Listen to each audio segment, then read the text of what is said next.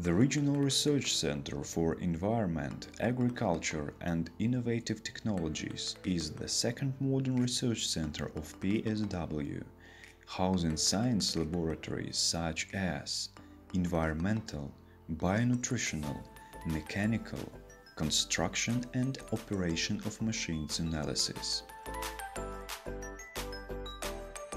The Building Physics Laboratory conducts research in the field of acoustic insulation, noise intensity measurement and thermal imaging using a thermal imaging camera. Sterowanie samym tunelem jest niezwykle proste. Do tego dwa przyciski, przycisk bezpieczeństwa i regulator.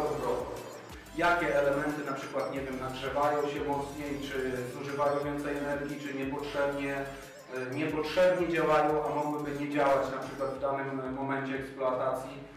Czyli wszystkie, wszystkie ogólnie parametry pomp ciepła.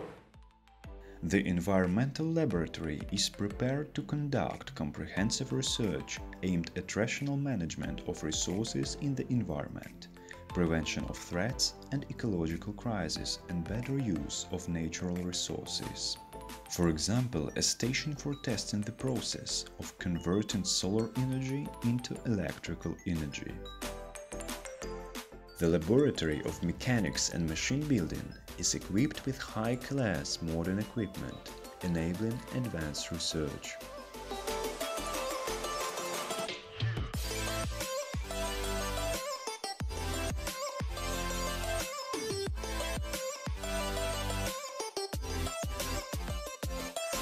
The center also hosts demonstration activities as part of the Open Day and the Day of the Engineer.